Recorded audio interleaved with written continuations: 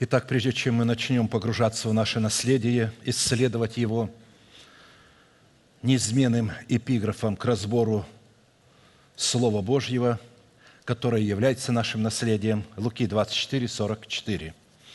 «И сказал Иисус ученикам Своим, «Вот то, о чем я вам говорил, еще быв с вами, что надлежит исполниться всему написанному о мне в законе Моисеевом и в пророках и псалмах». Итак, чтобы нам, как причастникам тела Христова, разделить со Христом исполнение всего написанного о Нем в Писании, мы продолжим наше исследование в направлении нашей соработы с Духом Святым в том, что необходимо предпринять со своей стороны, чтобы получить право на власть, отложить прежний образ жизни, чтобы облечься в новый образ жизни. Ефесянам 4, 22, 24 отложить прежний образ жизни ветхого человека, истлевающего в обольстительных похотях, а обновиться духом ума вашего и облечься в нового человека, созданного по Богу в праведности и святости истины. Для выполнения этой повелевающей заповеди, как мы уже видим, задействованы три повелевающих и основополагающих глагола «отложить», «нечто», «обновить», «нечто» и «во что-то облечься».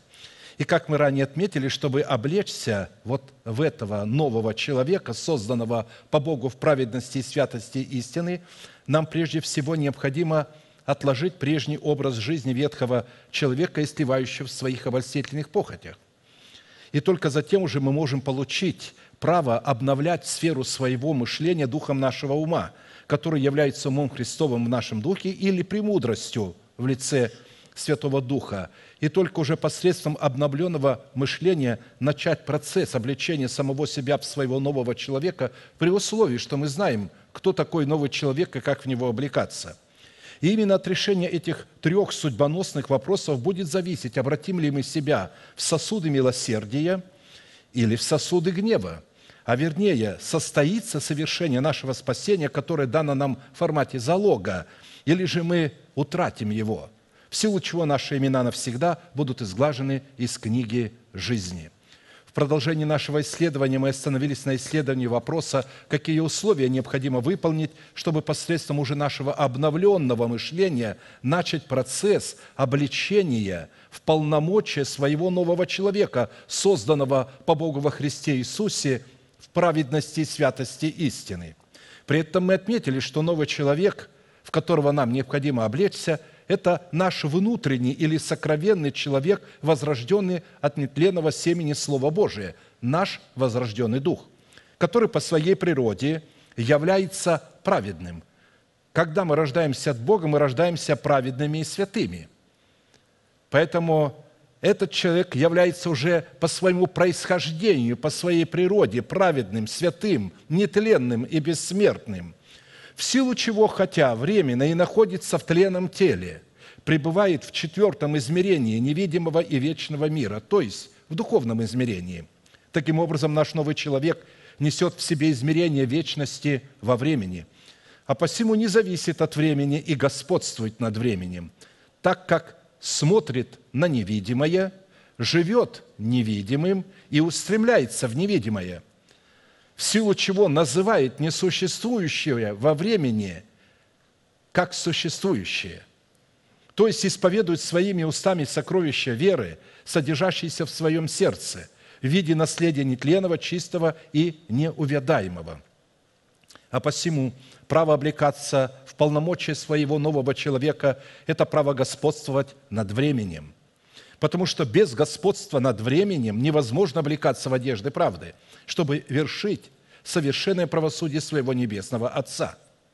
И при исследовании природных свойств своего нового человека мы решили рассмотреть процесс обличения в полномочия нового человека с семи сторон или же в семи достоинствах, хотя их гораздо больше.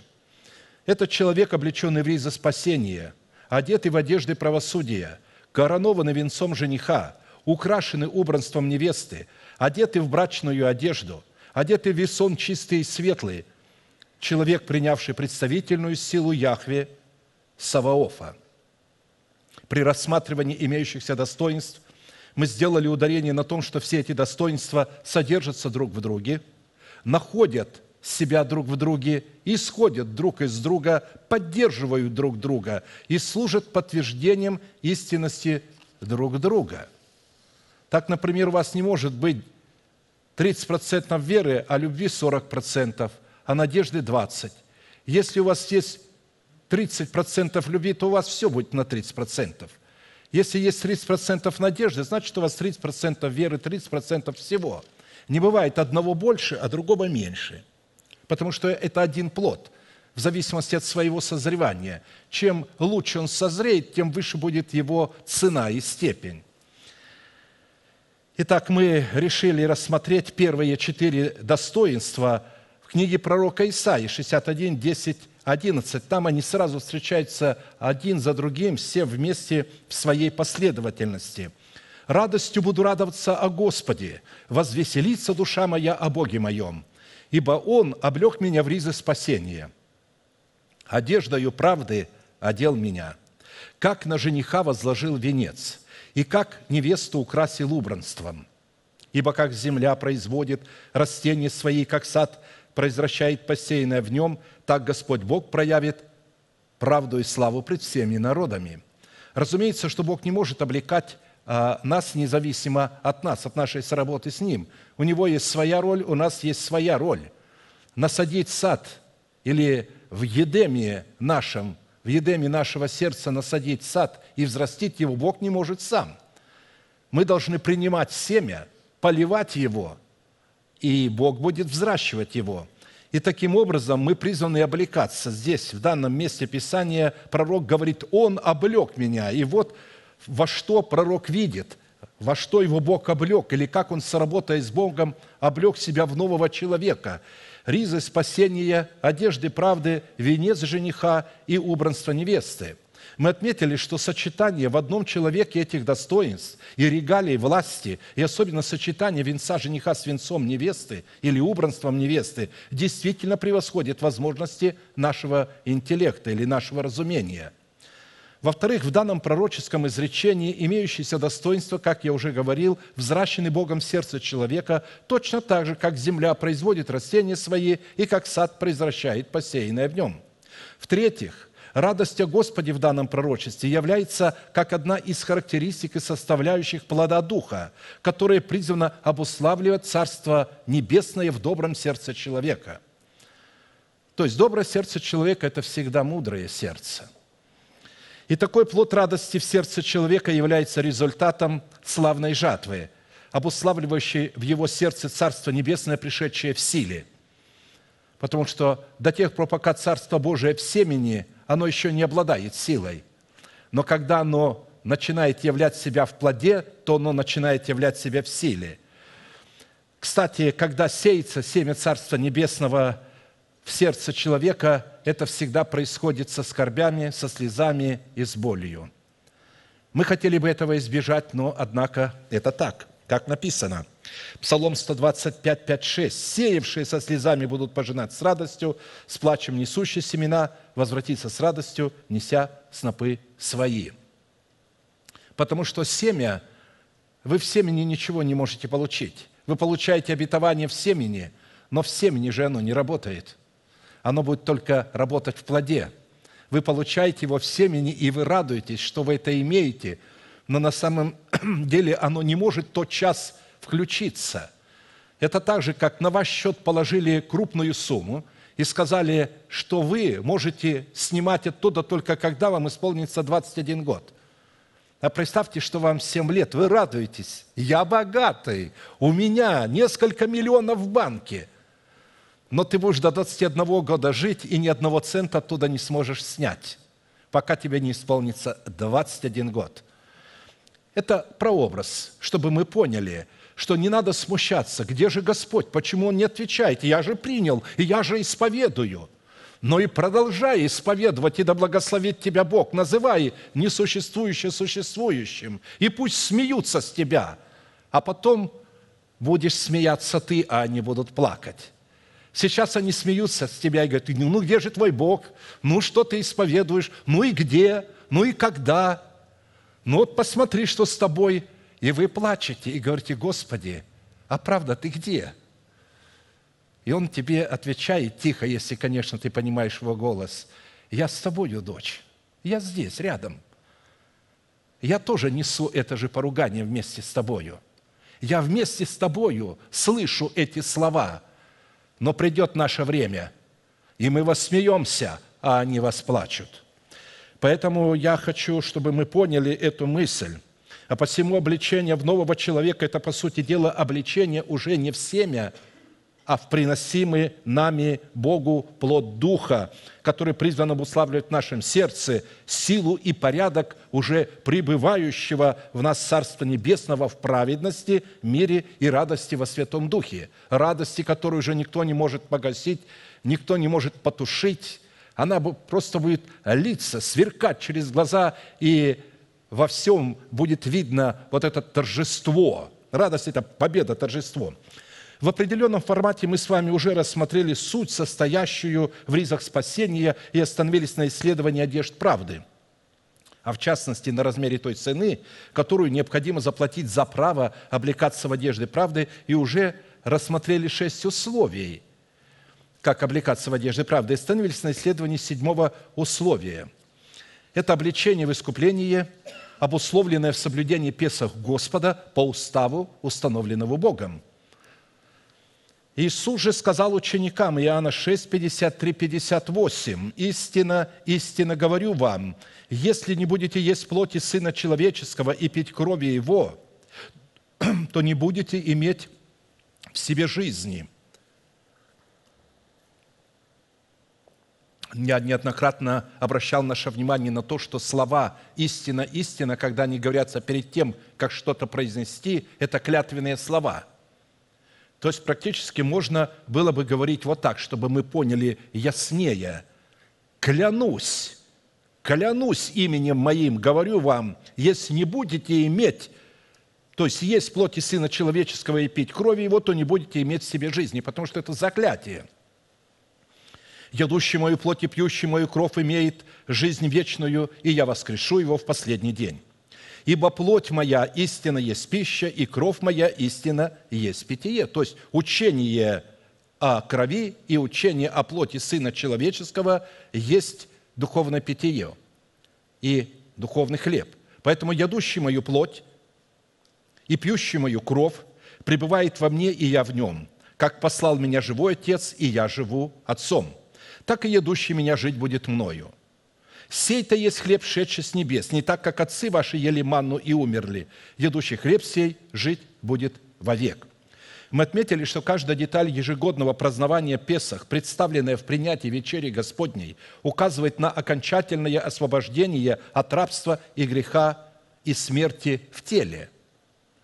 А в будущем и на окончательное освобождение от самого тленного тела и от смертной души. То есть речь идет, что мы уже здесь можем освободиться от смерти, от вирусов всевозможных и от болезней, а в будущем и от тленного и смертного тела, которые благодаря достойному вкушению Агнца Песах в свое время облекутся в нетление и в бессмертие. В уставе Песах достойное вкушение Агнца Песах состояло как в требованиях особого рода одеяния одежд, несущих в себе готовность совершить правосудие Божие, так и в особого рода требованиях, необходимых для достойного вкушения самого Агнца. Несоблюдение этих требований в любом их аспекте не освобождало человека от исполнения над ним приговора смерти. И, напротив, соблюдение устава Песах делало человека причастником к производству суда Божьего над первенцами Египта.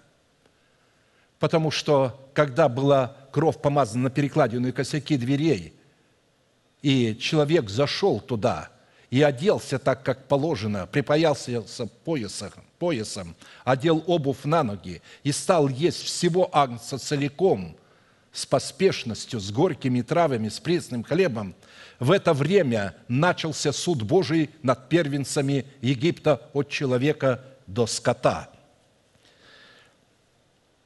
Исход 12, 12. «А я в сию самую ночь пройду по земле египетской и поражу всякого первенца в земле египетской, от человека до скота, и над всеми богами египетскими произведу суд я Господь». Этот суд происходит с каждым человеком в отдельности и с каждой общиной, с каждым движением. Однажды этот суд начинает происходить в жизни верующего человека. Это не значит, что это далекая история, это только было там, и к нам оно не касается, и мы смотрим на нее только как образ. Это не просто образ, это действие, которое происходит в каждом отдельном человеке на определенном этапе жизни, когда ему нужно освободиться от души. Потому что из имеющегося повеления следует, что первенцы Египта, от которых зависели египтяне, являлись богами Египта. Нам следует помнить, что наша зависимость определяет наше божество, наше упование и наше поклонение. Первенцы Египта представляли образ души человека, который отказался потерять душу в смерти Господа Иисуса, чтобы умереть для своего народа, для своего дома и для своих душевных желаний и предпочтений, противящихся желаниям Бога. А посему, если мы не будем вершить правосудие Бога в достойном соблюдении Песах Господа по уставу, установленному Богом, мы никогда не сможем состояться потомками веры Авраама. Вот почему я сказал – что это не просто бывшая история, это история, повторяющаяся в каждом отдельном христианине, когда ему нужно оставлять младенчество и переходить. И вот здесь Господь откроет ему, наконец-то, разум к пониманию, что такое кровь Иисуса и что такое плоть.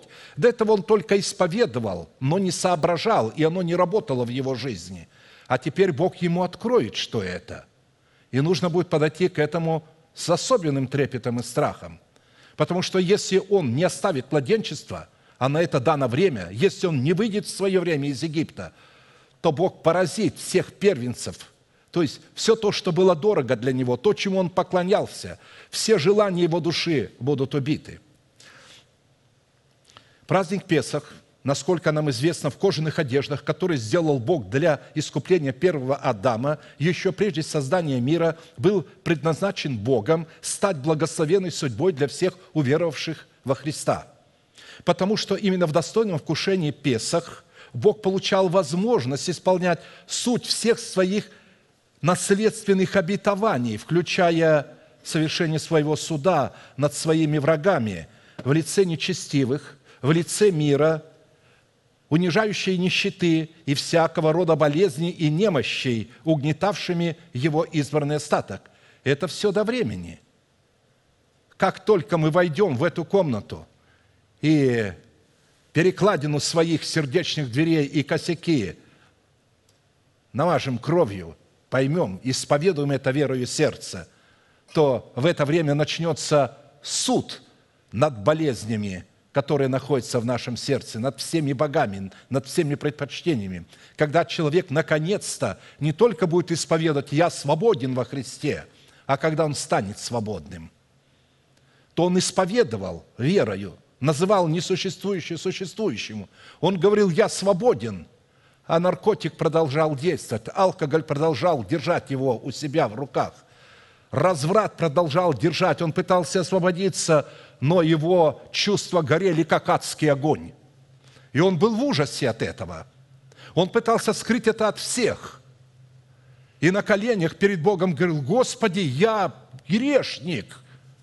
Это хорошо, что он это видел. А Бог говорил ему, не говори так, скажи, я праведен, я тебя оправдал. Господи, я праведник, ты меня оправдал, но я хочу грешить называя несуществующее существующим. Вера – это информация, не то, что ты чувствуешь. Вера – это информация. Вера исходит от Слова Божия. Вера от слышания Слова. Это не то, что я чувствую, Бог меня оставил. И я... Не надо чувствовать. Не обращай на это внимания. Становись мужем веры. Начинай исповедовать информацию. Эта информация создала мир – эта информация исцеляла больных и воскрешала мертвых. Эта информация воскресила из мертвых Христа. И первый сноп тех праведников и святых, которые воскресли вместе с Ним и были восхищены после этого на небеса. И теперь они находятся там в новых телах. Итак, чтобы нетленные сокровища праздника Песах, содержащие в себе причастность к роду Бога и к праведности Бога могли стать нашим достоянием, нашим наследием. Писание вменило нам причастность или то есть в требование выполнить 10 условий, вернее, пребывать в этих 10 условиях. Я быстренько скажу, что это за условия. Это выбор и отделение акция Песах, удаление всякой закваски из своего дома, всякого греха, исповедать всякий грех, помазать кровью акция Песах перекладины косяки дверей, то есть это учение о крови Господа Иисуса Христа, как она освобождает от греха. Кровь Иисуса Христа не освобождает от ветхой природы. Она освобождает от греха, которую поставляет ветхая природа, и мы об этом знаем. Испечь всего агнца Песах на огне. Вот здесь уже крест, здесь уже не кровь. Крест освобождает нас от души – Учение о кресте освобождает нас от ветхого человека, который поставляет грехи, а кровь Иисуса Христа очищает от всякого греха. И мы об этом неоднократно говорили. Далее припоясать самого себя поясом – это обновление нашего ума. Если вы сможете припоясать себя поясом истины через ума вашего, значит, ваш ум будет обновленным.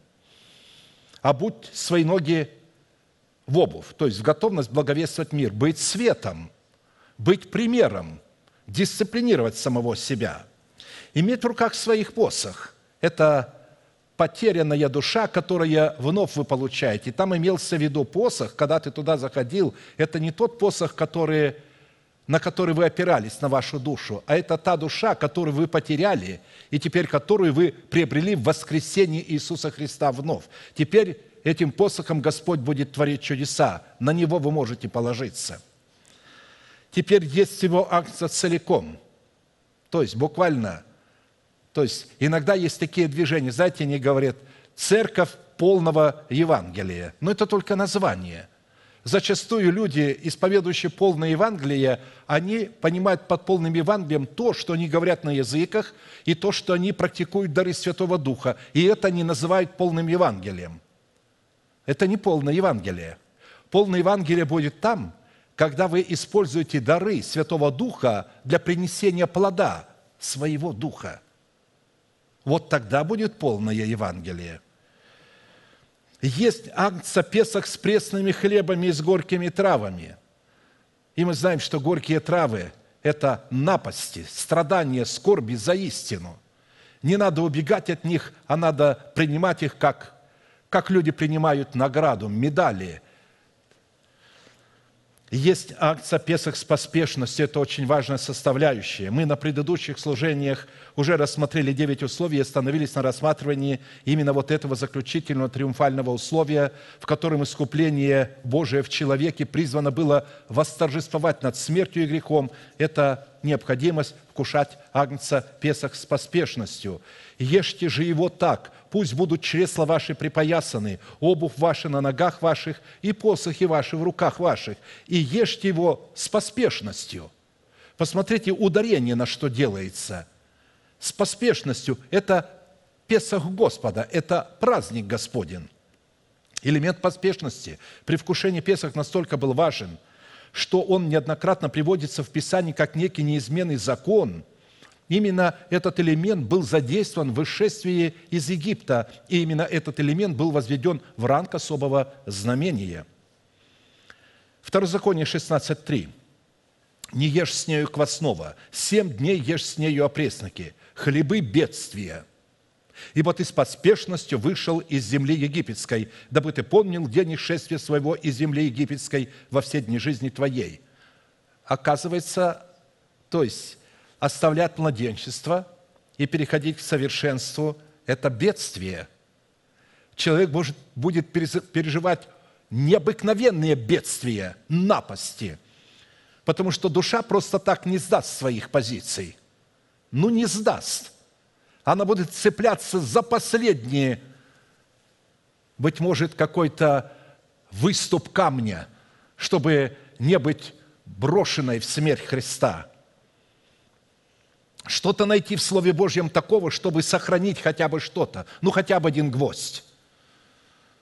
Но потом, когда сохранится этот один гвоздь, некоторые соглашаются, потому что каждая часть души с вашего позволения должна быть уничтожено. Если вы скажете, ну вот это все уже, слава Богу, я уже свободен, а это один гвоздь, ничего, пусть там остается один гвоздь. Потом придет туда лукавый и повесит туда тухлое мясо. Ты скажешь ему, убери, он скажет, это мой гвоздь, что хочу, то вешаю. И он заполнит смрадом вместо благоухания ваши отношения. Вот почему душа должна умереть полностью. Вот почему это хлебобедствие.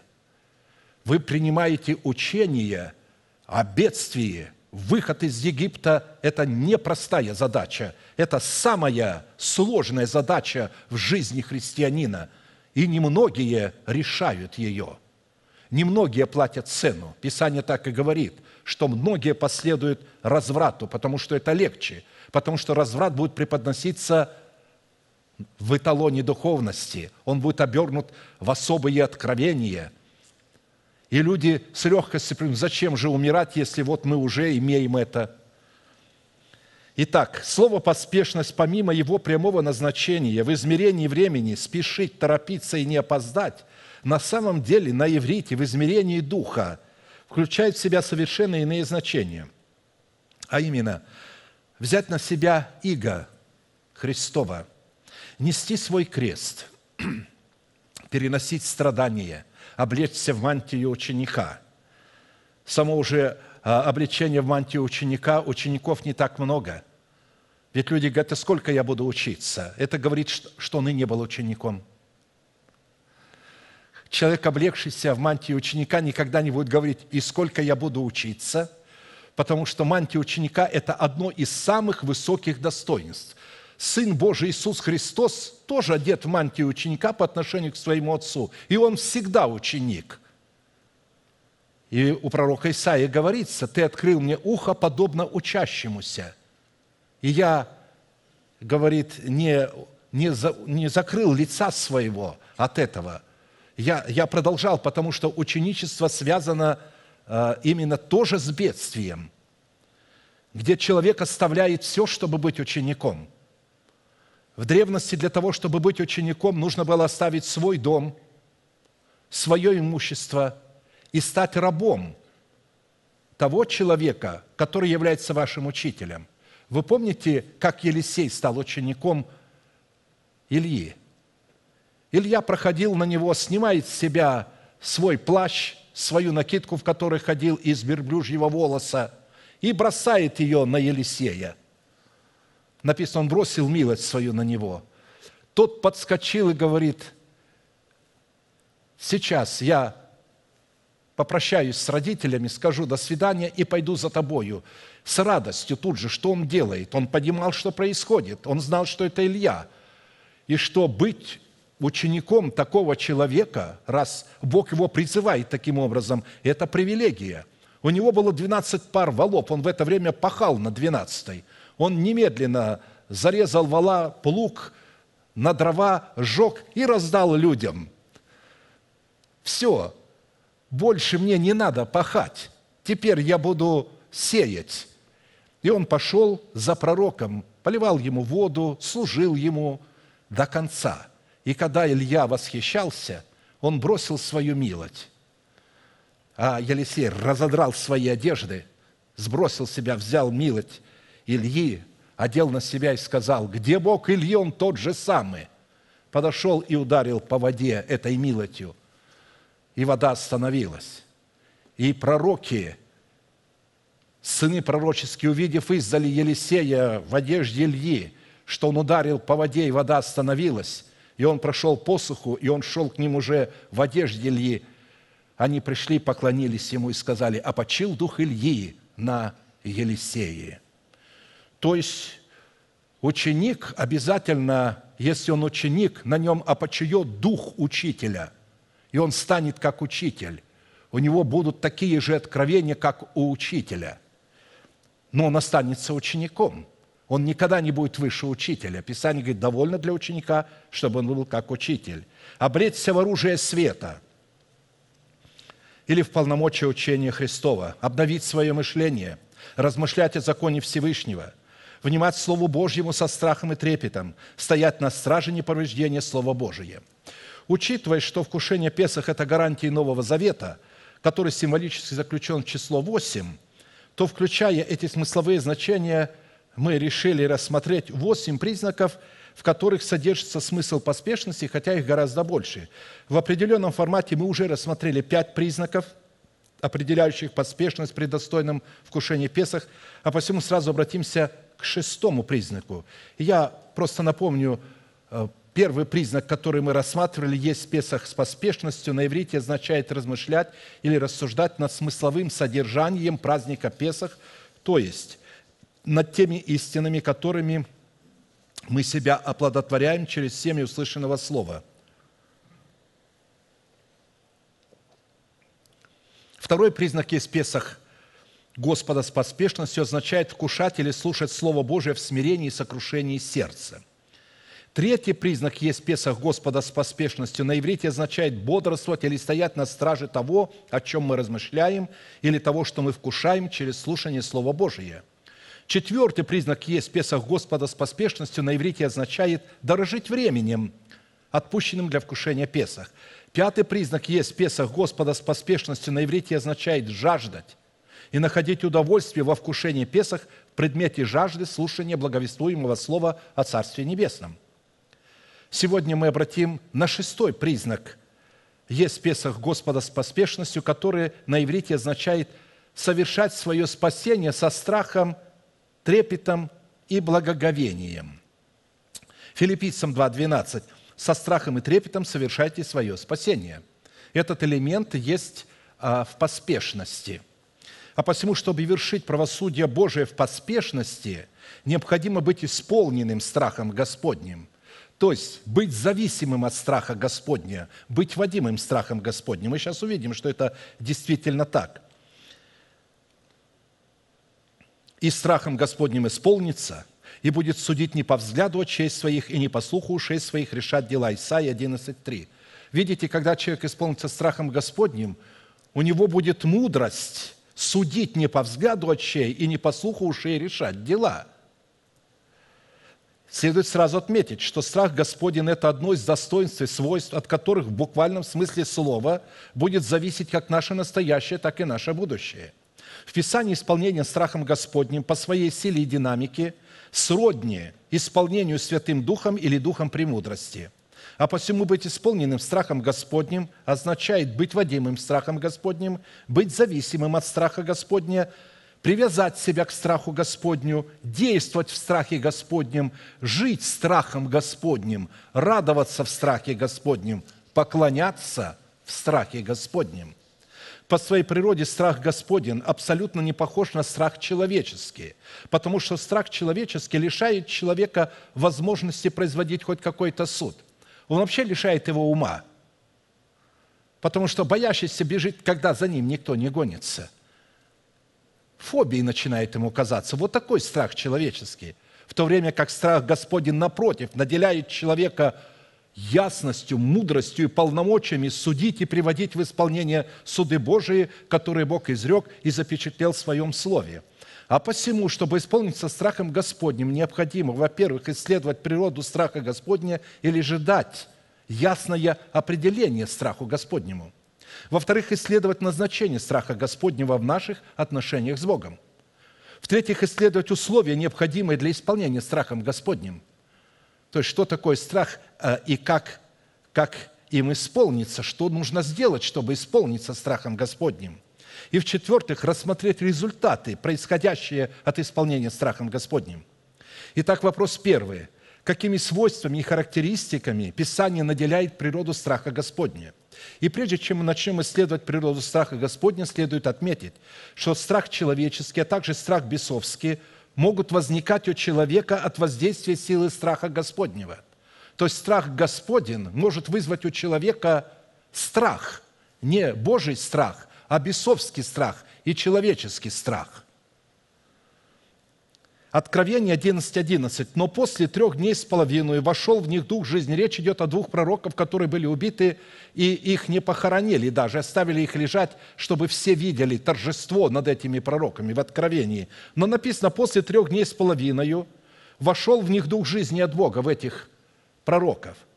И они оба стали на ноги свои, и великий страх напал на тех, которые смотрели на них. Это не был страх Божий, это был страх от воздействия страха Божьего, страх бесовский. Потому что бесы веруют и трепещут. У них есть страх. И этот трепет у них от воздействия страха Господнего – Поэтому в данном случае под страхом, который напал на противников Бога, являлся страх и трепет от осознанного должного возмездия, который является бесовской верой или бесовским страхом, или человеческой верой и человеческим страхом. Иакова 2, 19, 20. «Ты веруешь, что Бог един? Хорошо делаешь. И бесы веруют и трепещут. Но хочешь ли знать, неосновательный человек, что вера без дел мертва?» Исходя из того, что все свойства и достоинства, которыми наделяются дети Божии, исходят от Бога, страх Господень – это в первую очередь одно из имен и достоинств Бога. Это имя Бога. Страх Господень дает определение имени Бога, в котором сокрыты сокровища нашего искупления и нашей защиты. Исайя 8:13. «Господа Саваофа, Его чтите свято, Он – страх ваш, и Он – трепет ваш». Здесь имеется в виду, что это имена Бога. Страх – это имя Бога, и трепет – это имя Бога. Бытие 13, 31, 42. «Если бы не был со мной Бог отца моего, Бог Авраама и страх Исака, Бог Исака, здесь он называет Бога Исака страхом. Вот Иаков говорит, если бы не было со мною Бога под именем страх, потому что Иаков знал Бога Отца своего, которому Отец поклонялся, и он поклонялся Богу под именем Страх, мудрость Божия. Он говорит, если бы не было со мною Бога Отца моего, Бога Авраама и страх Исаака, ты теперь бы отпустил меня ни с чем. Бог увидел бедствие мое и труд рук моих и вступился за меня вчера. То есть Бог в страха вступился, и Лаван пришел в страх от Божьего воздействия страха. Поэтому страх Господень – это явление Бога в жилищах святого народа, заступающего их от скопления враждующих против Него царей с такой силою, что повергает этих царей в изумление и обращает их в бегство. Псалом 47, 4, 7.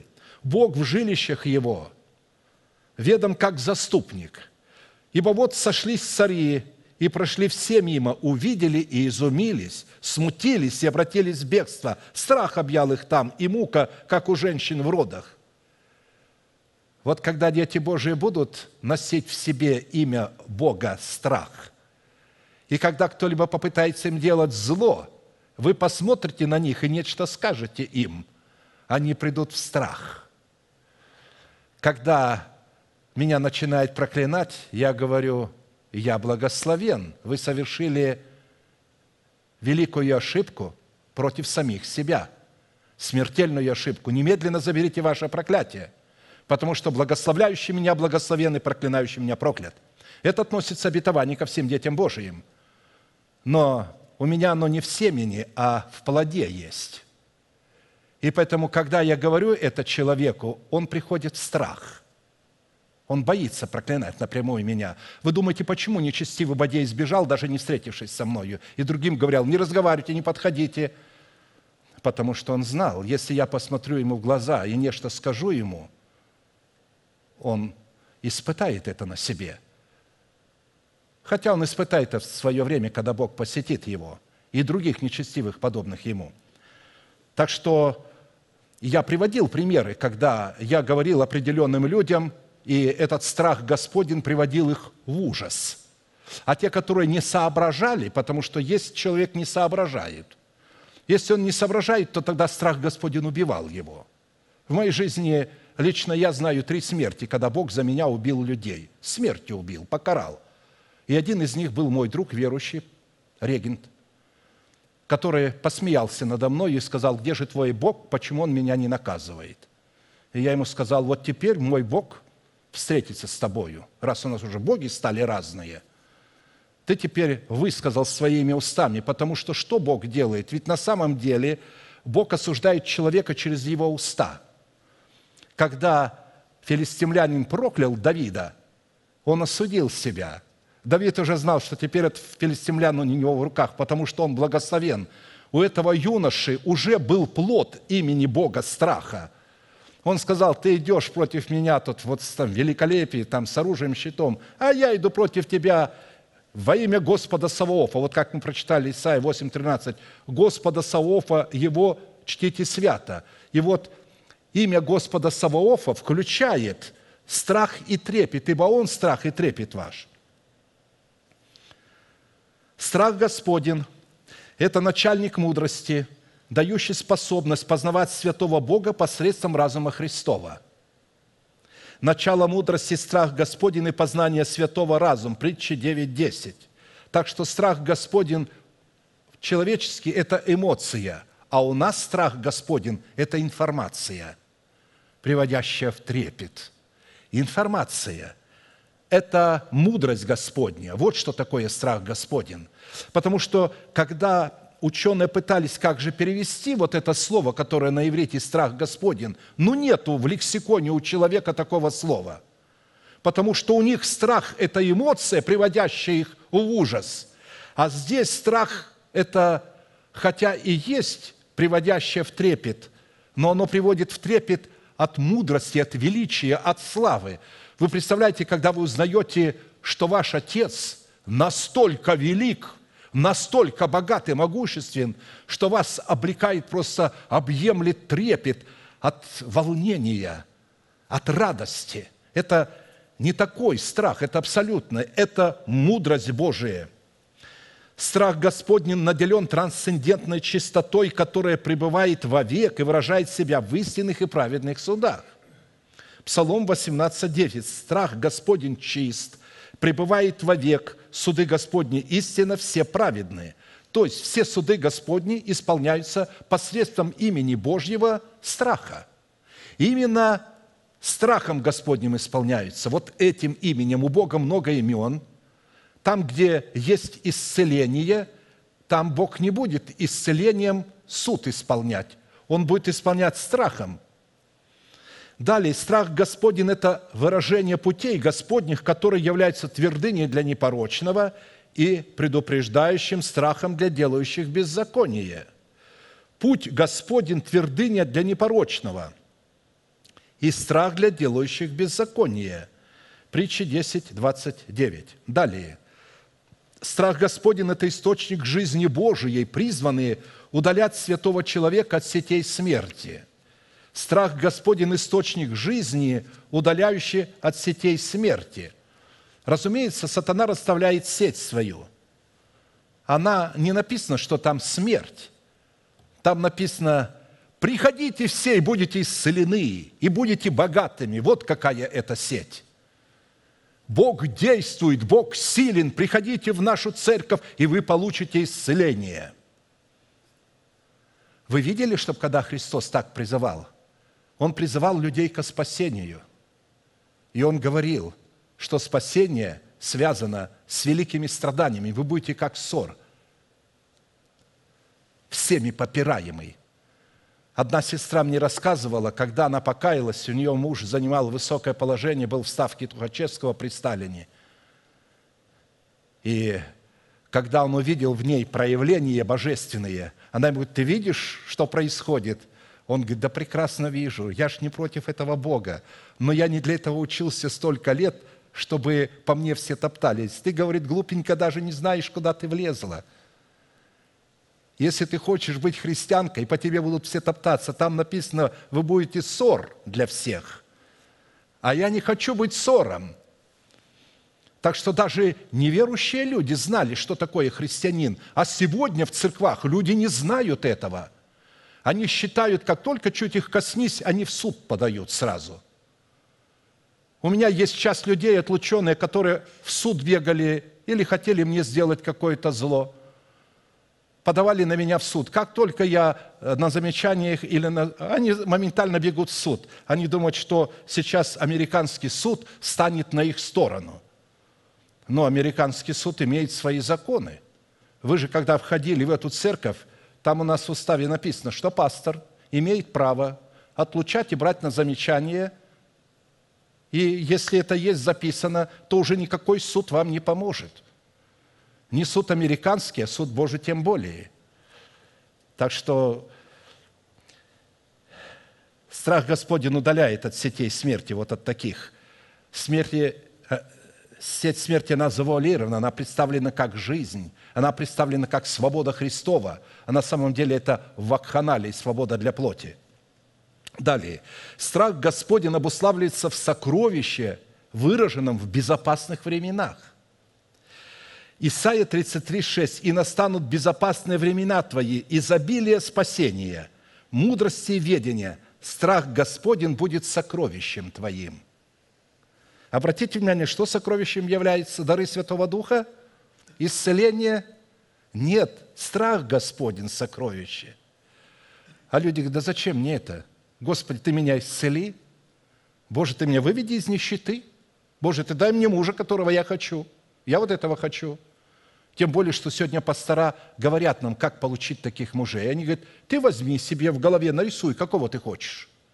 Вот, вот я молилась, молилась, приходит к Йонгичо, дама говорит, я молилась, молилась, Бог не дает. Давай, как ты молилась? Я молилась, Боже, дай мне мужа. А, Бог, а он ей говорит, а Бог же не знает, какого мужа тебе дать. Вот сядь и напиши, какого ты хочешь, какого образования, какого роста, какие у нее должны быть глаза, какие волосы и так далее, и так далее – она все это написала. А вот теперь я, говорит, помолюсь с тобой, и ты получишь точно такого мужа. Он помолился, и через недели три именно такой муж сделал ей предложение. И это было демоническое воздействие. Это демоны так действуют в этой церкви, обманывая людей, потому что Бог не дает так мужей и жен. Он хочет показать, что мужчины и женщины, они суверенные личности, они сами должны полюбить друг друга. Бог может дать вам помочь найти святого человека в святой среде. Но вы должны его полюбить и должны быть любимыми точно так же. Поэтому очень важно, что такое страх Господень. Это сокровище. Поэтому страх Господень, обусловленный безопасными временами, содержит – изобилие спасения, мудрости, ведения Господа. Далее, познание страха Господня может происходить через реакцию злых духов на незаконную попытку людей повелевать им. Смотрите, я имею в виду, как люди могут познакомиться со страхом Господним. Через реакцию злых духов на незаконную попытку людей повелевать им – Деяние 19, 13, 17. Некоторые из скитающихся иудейских заклинателей стали употреблять над имеющими злых духов имя Господа Иисуса, говоря, «Заклинаем вас Иисусом, которого Павел проповедует». Это делали какие-то семь сыновей иудейского первосвященника Скевы, непростые сыновья, сыновья первосвященника. Но злой дух сказал им в ответ, «Иисуса знаю, и Павел мне известен, а вы кто? И бросился на них человек, в котором был злой дух, и, одолев их, взял над ними такую силу, что они нагие и избитые выбежали из этого дома. Это сделалось известно всем живущим в Ефесе, Иудеям и Еленам, и напал страх на всех их, и величаемо было имя Господа Иисуса. Вы видите, что произвел страх Господень. Страх на них напал, и величаемо было имя Господа Иисуса – потому что они увидели, что м-м, имя Господа Иисуса его не может употреблять всякий человек, а только тот человек, который достоин, который облеченным, которому дано это. Далее. Страх Господень – это откровение Святого Духа, содержащееся в правде Божией, в воздержании и в будущем суде. То есть страх Господень содержится вот в этих учениях – Деяние 24-25. Речь идет об апостоле Павле, когда он говорил с правителем. И как он говорил о правде, о воздержании и о будущем суде, то Феликс пришел в страх и отвечал, «Теперь пойди, когда найду время, позову тебя». Он настолько испугался, что э, не захотел дальше слушать. Он перепугался. Я, говорит, тебя потом позову, мне надо прийти в себя – Далее, страх Господень – это выражение совершенной любви Божией Агапи, которая изгоняет всякий человеческий страх.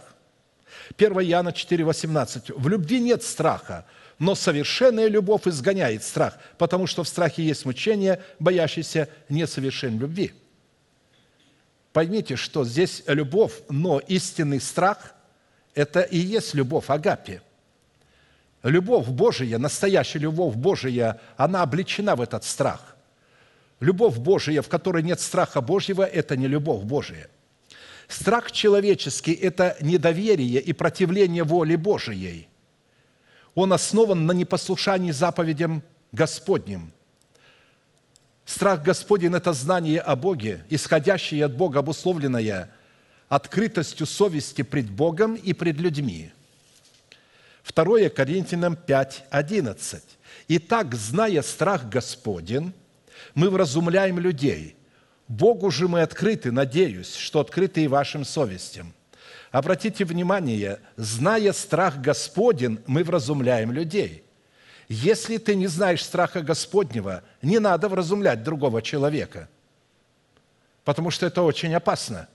Когда вы пытаетесь учить людей, не зная, что такое страх Господень, и не будучи исполнены страхом Господним. Страх Господень – это обличение, которое разрушает твердыни и замыслы сатаны в умах людей, которые выражаются в извращенных истинах или в ложных доктринах вероучения – 1 Тимофея 5:20. «Согрешающих, согрешающих обличай пред всеми, чтобы и прочее страх имели». Или еще одно местописание, 2 Коринфянам 10:4-6. «Оружие воинствования нашего не плотские, но сильные Богом на разрушение твердынь. Ими не спровергаем замыслы и всякое превозношение, восстающее против познания Божия» и пленяем всякое помышление в послушании Христу, и готовы наказать всякое непослушание, когда ваше послушание исполнится». То есть мы, а, то есть, разумеется, вкратце обратили внимание, что такое страх. А теперь второй вопрос. Какое назначение призван исполнять страх Господень в наших отношениях с Богом? Во-первых, страх Господень призван при утверждении судов Божьих наделять нас способностью действовать осмотрительно. То есть, если мы будем иметь страх Господень, мы будем действовать осмотрительно. Итак, 2 Паралипоменон 19.7. «Итак, да будет страх Господень на вас. Действуйте при утверждении судов моих осмотрительно, ибо нет у Господа Бога нашего ни правды, ни лицеприятия, ни мздоимства». То есть для того, чтобы обличать, потому что необходимо иметь страх Господен. И он говорит, да будет страх Господень. Это он говорил тем людям, которых он поставил для того, чтобы они судили народ израильский. Это он обратился к судьям народа израильского, к надзирателям их, и сказал, да будет страх Господень на вас, и действуйте при утверждении судов моих осмотрительно. В данном случае утверждение судов Божьих действительно невозможны без исполнения страхом Господним. Именно исполнение страхом Господним дает способность при вынесении судов Божьих действовать осмотрительно, что на самом деле означает при вынесении судов Божьих не зависеть от лицеприятия и мздоимства. Лицеприятие – это когда вы имеете к человеку когда вы зависимы от человека, вы уважаете человека, он является в ваших глазах авторитетом каким-то, а этот человек не очень хорошим авторитетом является такой. И вам нужно рассудить между им и другим. И вы начинаете лицеприятствовать, лицемерить, как лицемерил в свое время апостол Петр.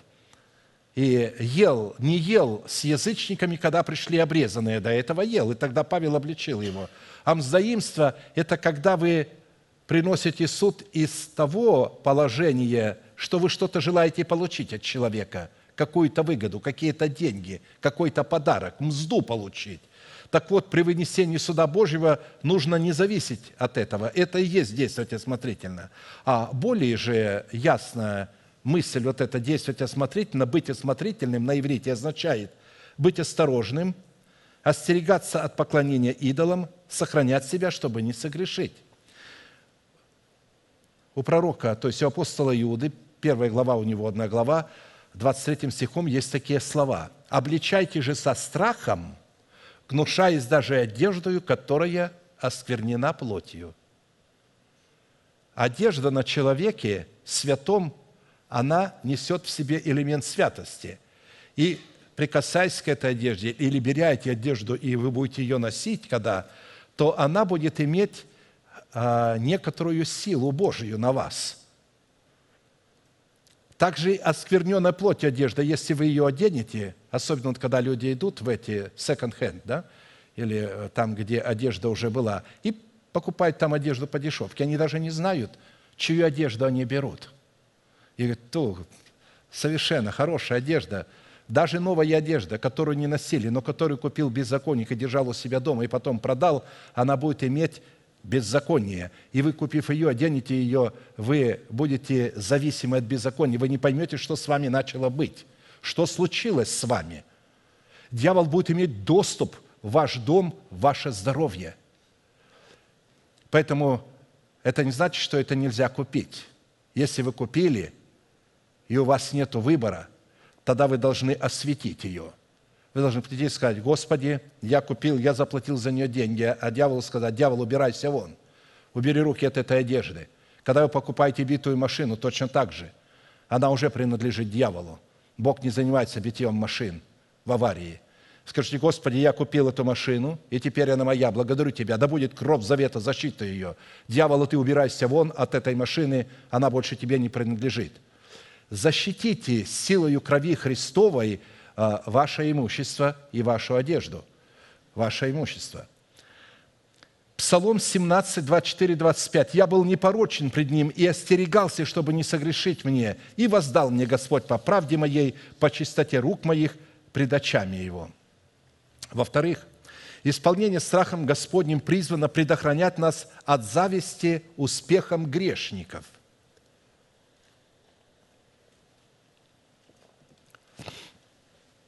да не завидует сердце твое грешникам, но да пребудет оно во все дни в страхе Господнем, потому что есть будущность, и надежда твоя не потеряна». Притчи 23, 17, 18. То есть это место Писания утешает человека и говорит о том, не завидуй ему, что он не чтит Господа десятинами. Говорит, вот я не чту десятинами, и смотрите, как я процветаю. А вы не процветаете, потому что вы отдаете десятин. Не надо их отдавать. И так далее. Писание говорит, не завидуй им. Пусть пребудет сердце твое в страхе Господнем, то есть в заповедях Господних. Потому что есть будущность, и надежда твоя не потеряна. У них нет будущности, а у тебя есть. Псалом 36, 1, 4. «Не ревнуй злодеям, не завидуй делающим беззаконие, ибо они, как трава, скоро будут подкошены и, как зеленеющий злак, увянут. Уповай на Господа и делай добро, живи на земле и храни истину. Утешайся Господом, и Он исполнит желание сердца твоего». еще одно место Писания, притчи 24, 19, 22. «Не негодуй на злодеев и не завидуй нечестивым, потому что злой не имеет будущности. Светильник нечестивых угаснет. Бойся, сын мой, Господа и царя. С мятежниками не сообщайся. Не ходи на всевозможные майданы – которые будут низвергать своих президентов и царей. Бойся Господа и с мятежниками не сообщайся, потому что внезапно придет погибель от них, и беду от них обоих кто предузнает? Внезапно придет от них погибель. Тот, кого вы будете в революции защищать, он вас и убьет. Посмотрите, что коммунисты сделали, когда пришли к власти. Они залили всю страну кровью. Это же сделали фашисты – это же сделает любая власть, которая приходит вот таким путем, вооруженным восстанием. Потому что, когда власть приходит вооруженным восстанием, у них теперь страх. Они теперь видят во всех э, врагов, и они пытаются обезопасить себя. И теперь у них есть армия и власть, и они вас уничтожат. Зачем вам выступать за эту власть? Откуда она знает, что вы были там и что вы стояли за них? Они вас расстреляют как врага. Вы будете кричать. Вы знаете, что многих коммунистов, когда расстреливали по указу Сталина, они кричали «за Сталина». Настолько были одурманенные. Их по приказу Сталина расстреливали, они умирали за Сталина. Вот так и вы будете умирать не, неизвестно за что. А, «Не негодуй» означает на иврите «не раздражайся», «не гневайся», «не злись», не соревнуйся, не ревнуй, не сердись, не приходи в ярость. А вот негодовать, посмотрите, что означает на иврите, негодовать, уменьшаться, смотреть в кривое зеркало, быть разрушенным, умирать, погибать. Псалом 72, 12, 20. «И вот эти нечестивые благоденствуют веки сем, умножают богатство, так не напрасно ли я очищал сердце мое и омывал в невинности руки мои, и подвергал себе ранам всякий день, и обличением всякое утро? Но если бы я сказал, буду рассуждать так, то я виновен был бы пред родом сынов твоих. И думал я, как бы уразуметь это? Но это трудно было в глазах моих. Доколе не вошел я во святилище Божие и не уразумел конца их. Так на скользких путях поставил ты их, и не свергаешь их в пропасти – как нечаянно пришли они в разорение, исчезли, погибли от ужасов, как сновидение по пробуждении. Так Ты, Господи, пробудив их, уничтожишь мечты их. Вот когда они, у них успех, они радуются, все, это скользкий путь. Это скользкий путь. Они говорят, Бог с нами, милость Божия обновляется. Они даже не знают, что это скользкий путь, что не летят. Бог поставил их на скользкий путь, потому что они поддержали нечестивых – в-третьих, страх Господень призван испытать нас законом Моисея и сделать нас способными избегать греха. Другими словами говоря, чтобы мы могли избегать греха или же уклоняться от греха, страх Господень будет испытывать нас явлением закона Моисеева. Исход 20.20. «И сказал Моисей народу, не бойтесь, Бог пришел, чтобы испытать ваш, вас, и чтобы страх его был пред лицом вашим, дабы вы не грешили. Обратили внимание? Когда Бог давал закон, они пришли в страх и испугались, что умрут. Моисей говорит, не бойтесь, Бог не убивать вас пришел, Он хочет испытать вас, чтобы страх Его был пред вами всегда, чтобы вы не грешили. Люди, не прошедшие испытания законом Моисея, не могут обладать страхом Господним и не могут жить и ходить верою, а следовательно, не могут и не грешить. Вот смотрите, Евреям 12, 25. «Смотрите, не отвратитесь и вы от говорящего, если те, не послушав глаголовшего на земле, то есть вот того страха, который пришел от закона Моисеева, не избегли наказания, то тем более не избежим и мы, если отвратимся от глаголющего с небес». То есть речь идет о благодати Божией и о законе Божием, о Моисее и о Христе.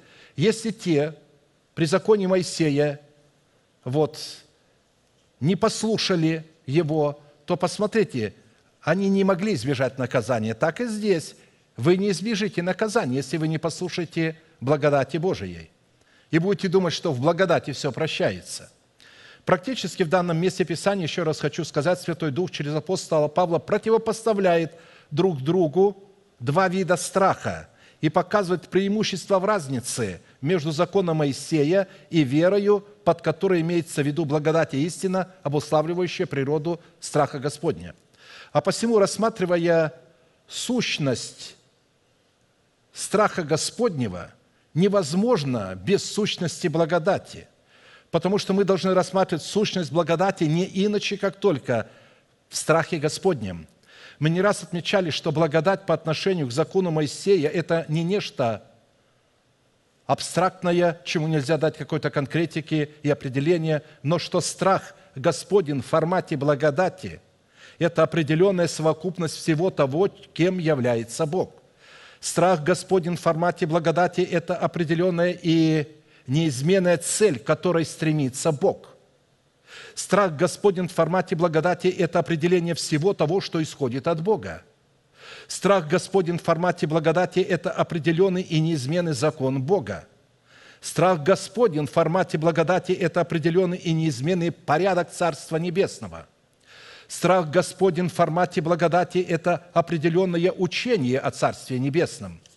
Страх Господень в формате благодати – это определение всего того, из чего состоит Царство Небесного – и все эти определения зиждутся и обретают юридическую силу в завете Бога с человеком, который, во-первых, то есть будем говорить, страх Господень в формате закона благодати проистекает из закона Моисея. Страх Господень в формате закона благодати противопоставляется закону Моисея. Страх Господень в формате благодати возвеличивается над законом Моисея. Страх Господень в формате благодати отменяет закон Моисея. Страх Господень в формате закона благодати заменяет закон Моисея. Страх Господень в формате закона благодати независим от закона Моисея – и седьмое, страх Господень в формате закона благодати строже закона Моисеева. Я уже говорил и вновь повторю на иврите слово «благодать», которое находится в страхе Господнем. Не страх Господень находится в благодати, а благодать Господня находится в страхе Господнем. Там написано, не благодать будет сокровищем твоим, а страх будет сокровищем твоим. Премудрость. Поэтому благодать Божия находится в страхе Господнем – и поэтому слово «благодать», которое находится в страхе Господнем, связано с наследием и происходит от корня глагола «обеспечить», «позаботиться», «приготовлять», что указывает на то, что посредством благодати, которая находится в страхе Господнем, основанной на величии Нового Завета, Бог обеспечил, позаботился и приготовил человеку наследие в предмете полного спасения. Из чего следует, что там, где отсутствуют взаимные узы Завета, благодать, помещенное в страх Господен, не имеет своего правового поля в человеке. А посему наследие, которое Бог обеспечил, позаботился и приготовил для своих детей, в благодати, пребывающей в страхе Господнем, на самом деле содержится и заключается для них в учении о страхе Господнем. Еще раз повторю это место, Исайя 33,6. «И настанут безопасные времена Твои, изобилие спасения, мудрости и ведения, страх Господень будет сокровищем твоим. Ходить в страхе Господнем – это ходить в благодати Божией верою и в вере, которая независима от закона Моисеева. Потому что в законе Моисеевом человек мог оправдываться только своими собственными делами, в то время как в истинной вере, которая содержит в себе страх Господень, человек призван был оправдываться делами Бога. Есть разница, да? В законе Моисеева человек оправдывался делами своими, исполняя закон. А в благодати, которая помещена в страх Господень, человек призван оправдываться делами Бога, которые он совершил в искупляющей благодати через смерть и воскресение Сына Своего Иисуса Христа. Вот почему мы становимся праведными по благодати, мы принимаем ее даром, а те для того, чтобы стать праведниками, должны были творить что-то, делать что-то – вот как об этом пишет апостол Павел Галатам 3, 23, 25. «А до пришествия веры, то есть до пришествия благодати, содержащейся в страхе Господнем, мы заключены были под стражей закона до того времени, когда надлежало открыться вере, имеется в виду благодати, содержащейся в страхе Господнем. Итак, закон был для нас где-то водителем ко Христу, дабы нам оправдаться верою – а вера – это премудрость Божия, вера, исходящая от слышания Слова Божия. А Слово Божие, мы знаем, начало премудрости, страх Господень. Это и есть страх Господень, сокровище, премудрость Бога. А до пришествия веры мы находились под этой, то есть под законом, но по пришествии веры мы уже не под руководством детоводителя, то есть не под руководством закона. Теперь, младенцы во Христе не могут жить и ходить верою, которая является страхом Господним. По той простой причине, что их духовный орган в предмете яйцеклетки еще не созрел, чтобы быть оплодотворенным семенем Слова Божия о Царстве Небесном. В силу этого они не могут оплодотворяться семенем страха Господня через благовествуемое слово веры. Они его слышат, но они не могут оплодотворяться – то есть точно так, как женщина, если у нее нет овуляции, она может лечь с мужчиной, она может иметь с ним половые отношения, но зачать она не сможет. Для того, чтобы зачать, нужно овуляцию, то есть нужно иметь созревшую яйцеклетку, которая способна быть оплодотворенной семенем. Так и в духе. 1 Коринфянам 2,14. Душевный человек не принимает того, что от Духа Божия. Он не принимает не потому, что он не хочет, потому что он не может, у него нет этого органа, который принимает. Душевный человек не принимает того, что от Духа Божия, потому что он почитает это безумием и не может разуметь. Обратите внимание, не не хочет. Везде поставлен глагол «не может». Потому что о всем надо судить духовно, а он еще не духовен. Чтобы стать духовным, ему надо оставить младенчество. Поэтому сердечная вера таких людей еще не созрела, а посему они водятся не верою сердца, а своим интеллектом и своими чувствами. Именно по этой причине они все то слово, которое связано с верой сердца, почитают безумием и противятся такому слову. Учитывая такой фактор, душевные люди не могут исполняться страхом Господним, так как страх Господень – это совокупность духовных истин, которые могут приниматься и постигаться не иначе, как сердцем человека, возросшего в полноту Божию. Знакомое нам место песни, песни 8, 8, 10. Есть у нас сестра, которая еще мала, и сосов нет у нее. Что она будет делать с сестрой нашей, когда будут свататься за нее – Свататься – это значит, когда будет предлагать. Вот когда нам предлагается слово о царстве, это практически Бог сватается. Семя о царстве, которое нам предлагается, это Бог посылает своих сватов, чтобы засватать нас. Но если мы еще, вот как эта маленькая сестра, мы еще не созрели, то написано, что нам делать. И тогда защищает ее старшая сестра.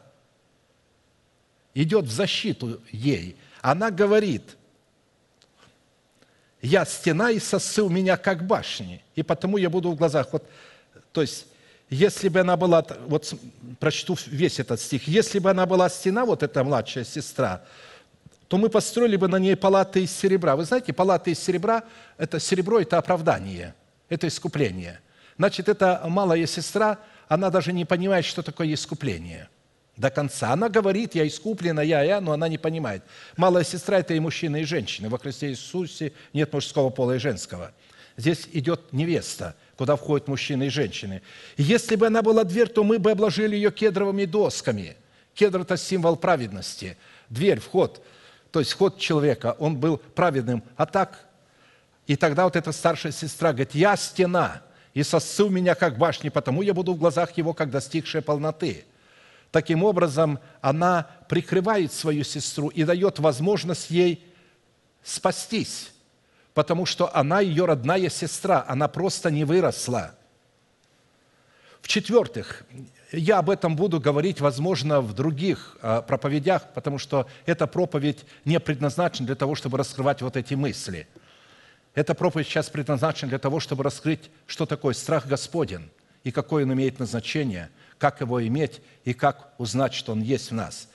В-четвертых, исполнение страхом Господень призвано облекать нас властью и способностью вразумлять людей и быть открытыми в своей совести пред людьми и Богом. То есть это не только определение, но это и назначение. Там мы читали этот стих как определение страха Господня, а здесь мы его теперь воспринимаем как назначение, не как определение, а как назначение в отношениях Бога с человеком. Итак, зная страх Господен, мы вразумляем людей. Богу же мы открыты, надеюсь, что открыты и вашим совестям. 2 Коринфянам 5.11. То есть, итак, имея познание истины, если перевести немножко э, другую версию этого перевода, итак, имея познание истины, мы вразумляем людей – Богу же мы открыты, надеюсь, открыты и вашим совестям. Быть открытым в своей совести – это быть свободным от власти греха, что возможно только в одном случае, как сказал Христос, «И познаете истину, и истина сделает вас свободными».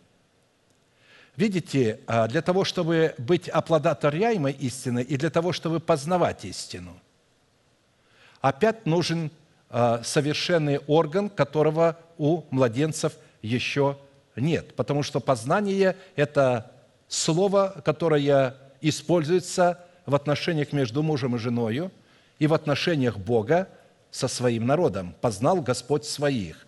А здесь нам предлагается познать истину. Конечно же, не, не, не в этом смысле, не в физическом смысле. Бог нас познает, а мы призваны познать Его. И, конечно же, мы познаем его, когда мы оплодотворяемся семенем Слова. Тогда мы познаем. Как жена познает своего мужа? во время полового акта. Муж познает жену, а жена познает мужа. Это не значит, что муж познает жену, а она его не познает. Они оба познают друг друга в этот момент. Поэтому, когда мы принимаем и оплодотворяемся семенем истины, Бог познает нас в это время, а мы познаем Его. И Он делает нам предложение –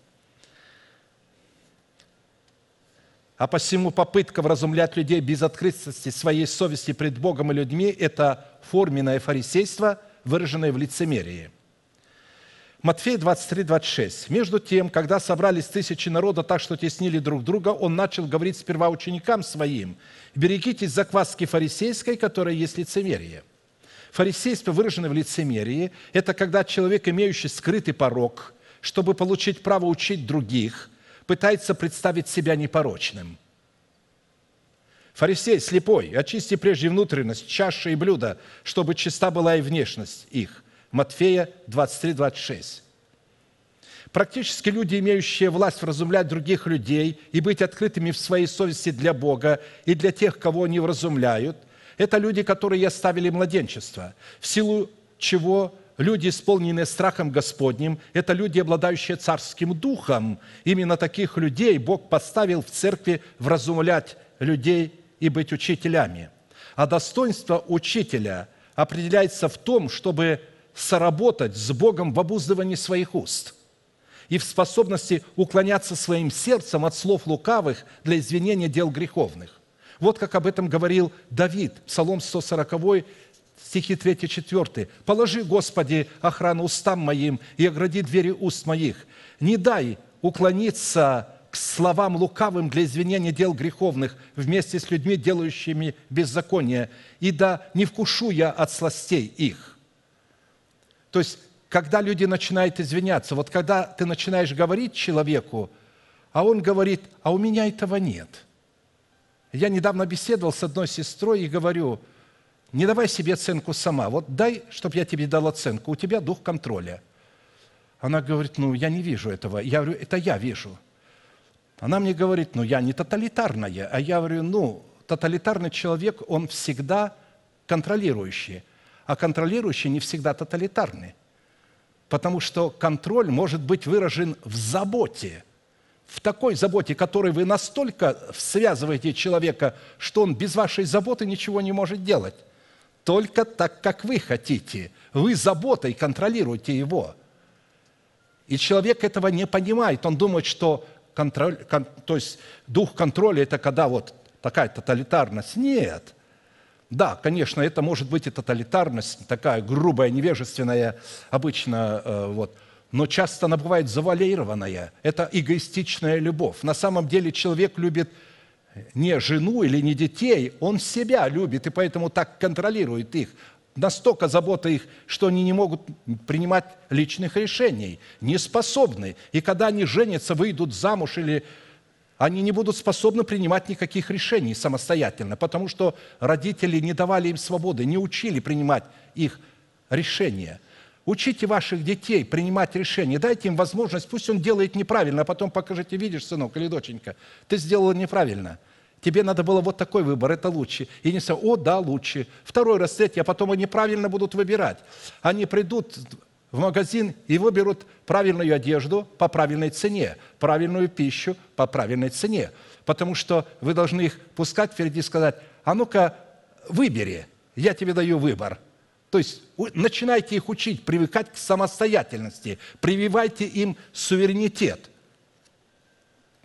Апостол Аков по вдохновению Святого Духа подтвердил концепцию Давида, что вразумлять и учить людей могут только те святые, которые сознательно соработают с Святым Духом в том, чтобы он мог оградить двери уст их от уклонения их сердцем к словам лукавым для извинения дел греховных. Когда мы начинаем вот этот грех, контроль, мы начинаем его а, извинять и начинаем оправдывать его. Вот как он пишет, «Братья мои, глава 3, с 1 стиха, «Немногие делайтесь учителями». То есть в оригинале написано, «Делайтесь учителями только те, которых Бог помазал быть учителями» зная, что мы подвергнемся большему осуждению. Те, кто делаются учителями, они подвергают себя большему осуждению. Ибо все мы много согрешаем – Кто не согрешает в слове, тот человек совершенный, могущий обуздать и все тело. Вот мы влагаем удила в рот коням, чтобы они повиновались нам и управляем всем телом их. Вот и корабли, как невеликие они, как не сильными ветрами носятся, небольшим рулем направляются, куда хочет кормчий. Так и язык небольшой член, но много делает. Посмотри, небольшой огонь, как много вещества зажигает. И язык – огонь прекраса неправды. Язык в таком положении находится между членами нашими, что оскверняет все тело – и воспаляет круг жизни, будучи сам воспаляем от гиены. Ибо всякое естество зверей, птиц, присмыкающихся и морских животных укращается и укращено естеством человека, а язык укротить никто из людей не может. Речь идет, что никто извне не может укротить твой язык. Это не значит, что ты его не можешь укротить.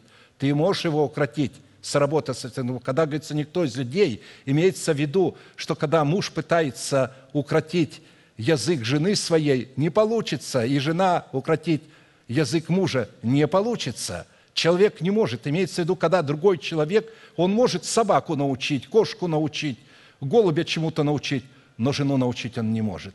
И мужа она никогда научить не сможет. Только когда сам человек этого захочет – вот здесь говорится, что никто из людей не может, это неудержимое зло. Он исполнен смертоносного яда, им благословляем Бога и Отца, и им проклинаем человеков, сотворенных по подобию Божию. Из тех же уст исходит благословение и проклятие. Не должно, братья мои, всему так быть. Течет ли из одного отверстия источника сладкая и горькая вода? Не может, братья мои, смоковница приносить маслины или виноградная лоза смоквы – также и один источник не может изливать соленую и сладкую воду. Учитывая, что наше время вышло, мы склоним наши колено, кому это возможно, или головы наши, и будем благодарить Бога, что сегодня мы частично познакомились с тем, что Слово Божие называет страхом Господним в поспешности при вкушении Агнца Песах. Аминь. Будем молиться.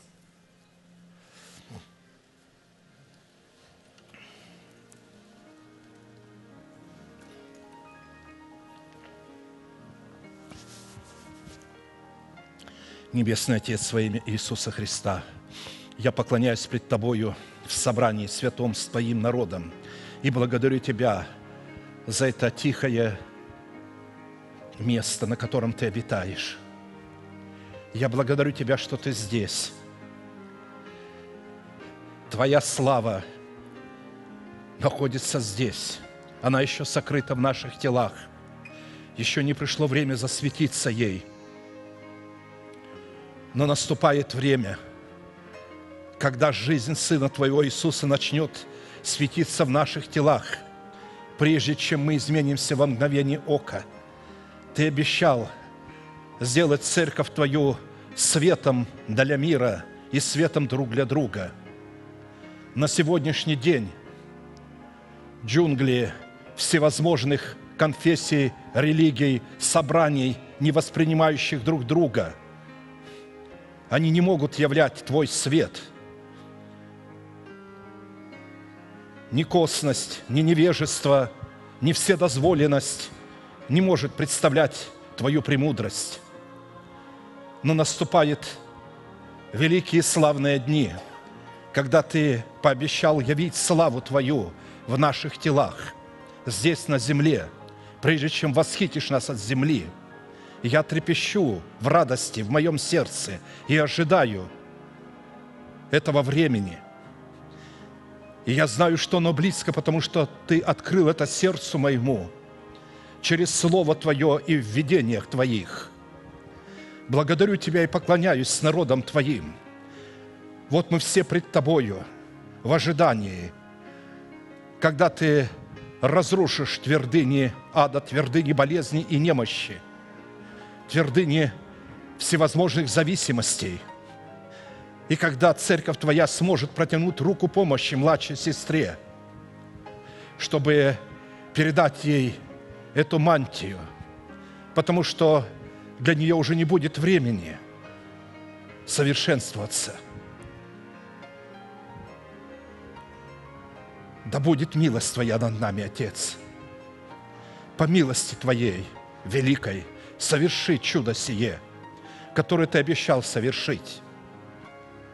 Ты отдал Сына Своего на смерть и заплатил за наши немощи, за наши грехи, взяв все это на себя. На протяжении тысячелетий церковь Твоя не могла этим пользоваться. Появилось очень много всевозможных ложных знамений и чудес, претендующих на истинность, но не являющимся таковыми. И я знаю, когда ты поднимешь по-настоящему по всему лицу земли людей, исполненных духом Ильи, они взойдут на кормил и сразятся с пророками Вала, которые называют себя христианами, но живут нехристианской жизнью. Благодарю Тебя, что Ты открыл наш разум и наше сердце к пониманию этой истины. Мы ценим ее, мы трепещем пред ней, мы охраняем ее в нашем сердце. И если что-то случается, мы скорбим, когда мы падаем, но мы вновь встаем.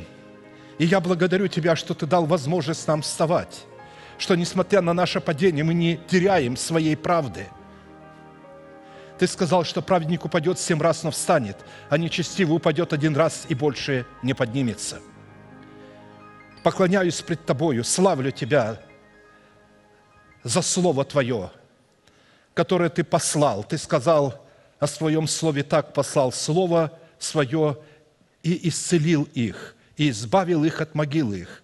Я знаю, что Слово, которое Ты сегодня говоришь – проникнув в сердца определенных детей Твоих, сегодня, прямо сейчас, наполнит их радостью, упованием, надеждой. Они снова встанут, отряхнут пыль и снова с радостью пойдут вперед и будут ожидать, когда Ты молнию Твоею поразишь врагов наших и исцелишь нас от болезней наших. Но мы Тебя уже благодарим за исцеление и поклоняемся пред Тобою, великий Бог, Отец, Сын, Дух Святой. Аминь. Отче наш, сущий на небесах, да святится имя Твое, да придет Царствие Твое, да будет воля Твоя и на земле, как и на небе.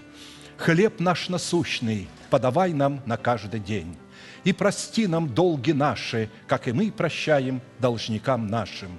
И не введи нас во искушение, но избав нас от лукавого – ибо Твое есть царство и сила и слава во веки. Аминь.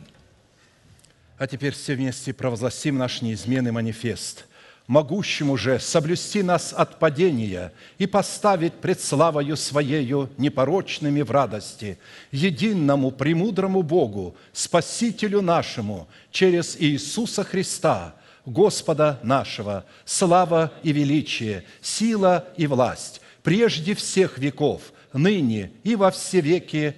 Аминь.